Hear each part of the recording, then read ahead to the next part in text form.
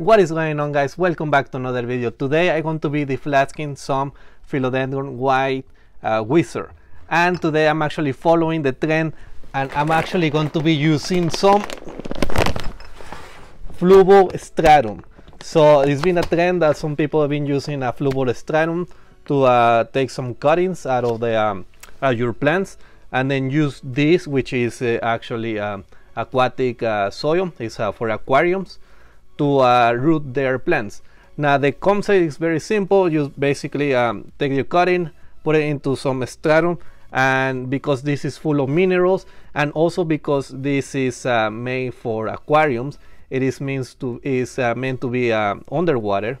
That means that you don't have that issues with like a uh, fungus or contamination growing in your uh, soil or sphagnum or peat moss, whatever you use in uh, coco coir um, basically, the problem we have, especially when when taking plants out of tissue culture, is that we had to keep a very high humidity to whenever you deflasking the plants have a very high humidity and then slowly decrease the, the humidity. The problem with that uh, is that when you're using soil, um, sphagnum, peat moss, or coco coir, or whatever, uh, the, uh, you have the uh, risk of uh, contamination. You may see some fungus growing, and that, that's a very common problem. And then when that happens, you end up losing a lot of your plants. So with um, using stratum, um, in theory, you, you shouldn't see that because this is meant to be used underwater. And for that reason, I think this will do much better job with um, acclimating some plants. So what I'm going to be doing now is I'm going to take some of these uh, plants out of these uh, biocouplers. Now, um, I'm not going to be taking um, reuse any of these plants. They're they're all going into um, soil. So I'm going to take the plants. So let me show you to you. They're looking very nice. Look at this amount of variegation. Looks fantastic. The plants look great, and um, and it is time to move so to to uh, to soil try to, to root them. Now some of these uh, leaves, as you can see there, they are look very white, very albino looking. So I'm not sure how well they would do in, um, now they are out of tissue culture. Uh, hopefully they do well, um, but it's something that I need to test out. So that's why also doing this experiment. So let me, I want to um, collect as many plants as I can and then I want to set up all the media here. Alright, so after a while, this is all I was able to get. There are actually a lot of plants in here. They are so small. Uh, some of these are super, super tiny. Um, but I mean, take in consideration that these used to be two small clumps of plants uh, just a, a, couple of months ago. And look at the amount of plants that I have now. Some of these uh, very good size uh, with a very fantastic variegation and some of these they are really really small.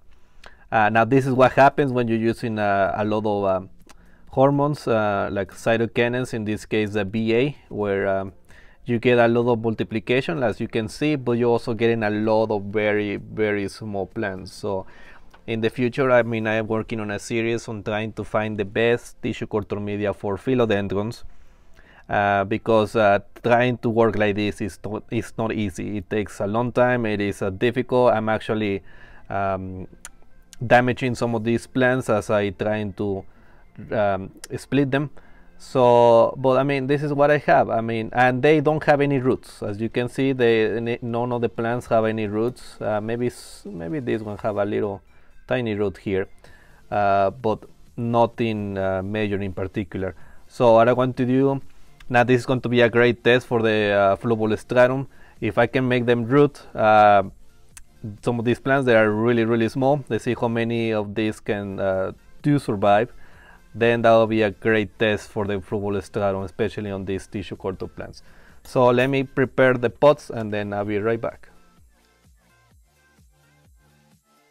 Alright guys, so this is what I have. Um, this is a 72 cell tray where I put all the Fluval stratum and then I carefully put um, a couple plants on each. So I mean like I say this used to be two small plants and now oh, well over a hundred plants. Now a lot of these may not survive but hopefully they will do well and then I'll still had a, a get get a good percentage of plants uh, to root. So they are very small. We'll see how they do but then I will see I mean I will check back in like a couple weeks and see how they do. But this how they looking. Couple of decent size plants but most of them are very small. So all right. So I'm going to check back in a couple of weeks. Now for you it's just going to be a few seconds and then I'll be right back. All right. So it has been just over two weeks and most of the plants are still looking very well. There are some that they die but it is normal. I didn't expect to have a hundred percent success especially because some of these plants were very very small. But you can see some of them are growing new leaves so that's very good news. Uh, not a lot of roots yet so far. Um, like let's see maybe couple small roots in there but nothing too big. But at the moment I if the I at the moment I'm looking for more of the plant growth. Uh, I'm, I'm sure as as they get bigger they want to start growing some um, some roots. But they're looking very good. This is uh, Philodendron White Wizard. They're actually doing very good. I'm fairly convinced of the stratum.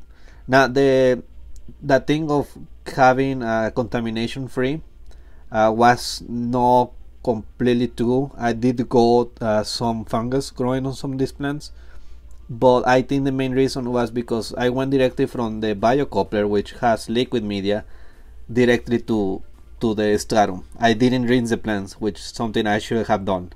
Uh, be, that's something because uh, it's like a, where it didn't have any gelling media, so it's like I didn't even bother rinse the, rinsing the plants. So that's something that you you you must do. Um, rinse the plants always because the plants they were still wet, and then whenever they were exposed to the environments they they grow a lot of uh, some fungus. So they're doing very well. Uh, they're doing actually very well. Uh, I'm convinced now of the stratum. So I'm actually made another tray. So let me show you. Okay so this is the other tray. Uh, this is uh, Philodendron White Knight um, they are also very small you can see. They're very tiny. They're probably like each of these clones have at least maybe 5 to 10 plants so uh, 50 cells. So it's probably around 500 plants in here. So let's see how many I get uh, how many survive. But if I can get at least one plant into each cell I'll be very happy. I mean but they're doing well I didn't realize how much water the stratum actually actually absorbs. Whenever I did the other one I don't know you noticed but some of the cells they, they look like they need a, they needed more. Uh, this time I placed the stratum dry on each cell and then I fill the tray which actually took a lot of water. I was using this uh, two liter pitcher and I, I fill it up twice. So I added four liters of water which just over a gallon of water into this tray and that did it I mean that's pretty much perfect I will keep you updated on how these plants do in the future now you want to see that subscribe to the channel and also check our uh, other social media especially like TikTok and Instagram that's where I'm going to be posting uh, maybe short clips uh, with updates on these plants uh, to see how they do in the future. I hope you have enjoyed the video and then I will see you in the next time. Goodbye. Hey everyone, thanks for watching the video. If you're enjoying these tissue culture videos, be sure to follow us on social media for more informative content. And if you're interested in conducting your own tissue culture experiments, make sure to check us out at plantcelltechnology.com for all the products you need to get started. Use the code FP10 for 10% off your first purchase.